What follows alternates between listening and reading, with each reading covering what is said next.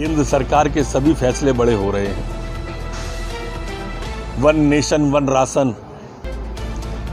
एक देश, एक टैक्स जीएसटी लेके आए।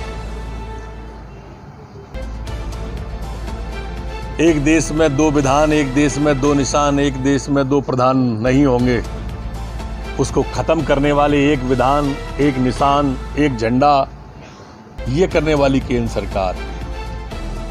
और उन्हीं ने आज पर एक देश एक परीक्षा करके नौजवानों के लिए व्यापक अवसर खोले हैं।